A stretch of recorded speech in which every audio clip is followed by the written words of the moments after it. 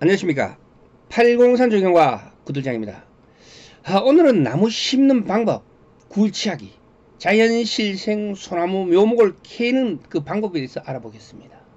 솔직히 말씀드리자면 자연실생 소나무를 캐 가지고 조경 현장에서 식재하는 경우는 거의 없습니다. 묘목이든 큰 나무든 자연적으로 자란 나무를 캐 가지고 조경 현장에 심기 위해서는 필요한 크기의 나무를 필요한 만큼 찾기도 힘들고요. 작업하기도 만만치 않고 그리고 또 살리기도 어려워 가지고 경제적으로 타산을 맞추기 어렵기 때문이죠. 특히나 소나무는 소나무 재선충 방제 특별법이라는 게 있어 가지고 여기에 따라서 반출 금지 구역이 많아 가지고 재선충 미감염 확인증을 받거나 또는 아무튼 행정적으로 복잡하기 때문에 아예 시도도 하지 않는 경우가 많습니다. 그렇지만 개인이 자기 땅에 난 소나무 실생 묘목은 필요하다면 얼마든지 캐서 옮기는 것은 할 수 있겠죠. 다만 재선충 특별방제법 이게 좀 엄격하니까 제대로 알고 해야 합니다. 오늘 제가 재선충에 대하여 정리해 가지고 영상을 올려놨습니다.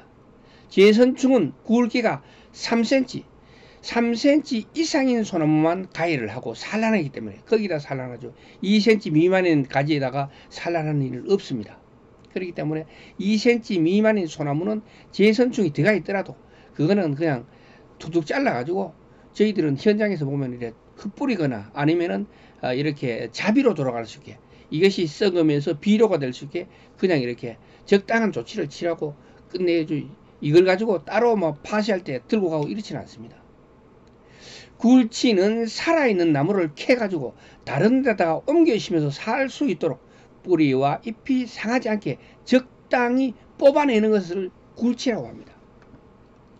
나무를 살리고 죽이는 것은 바로 굴치를 어떻게 하느냐에서부터 시작한다고 생각하시면 되겠습니다.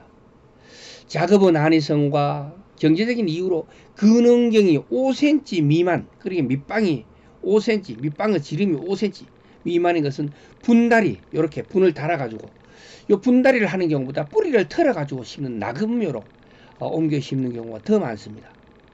나무는 척박하고 건조한 땅에서는 뿌리가 깊게 내려가고 잔뿌리도 많이 발달하지만 습하고 영양이 풍부한 토양에서는 뿌리는 얕고 잠털도 좀 저조한 편인데 아, 여기는 마르고 척박한 땅이라 대부분 잔뿌리가 많고 직근이 깊숙이 들어가 있어서 요 캐기에 좀 아, 까다로워요. 그래가지고 호미질 할때 아, 잘해야 됩니다. 네, 소나무 밑에 이렇게 유목들이 많습니다. 실생 유목들인데 이것들은 그냥 그만 다 죽게 됩니다. 아니면 서로가 경쟁해가지고 잡목처럼 칩을 받죠. 예, 대우를 받게 됩니다. 그래서 이걸 피해다가 제가 쓸만한 데 옮기도록 하겠습니다. 피는 방법은 간단합니다.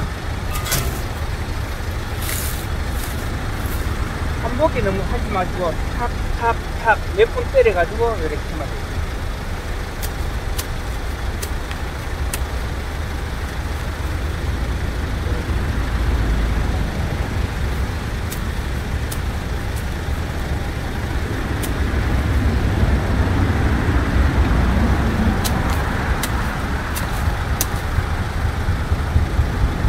어, 오늘은 묘목 옮기 심기 소나무 캐는 방법에 대한 얘기는 여기까지 하도록 하겠습니다. 오늘 이야기가 좋았다면 구독과 좋아요 부탁드리겠습니다. 지금까지 803 조경과 구들장이었습니다. 끝까지 시청해 주셔서 대단히 감사합니다.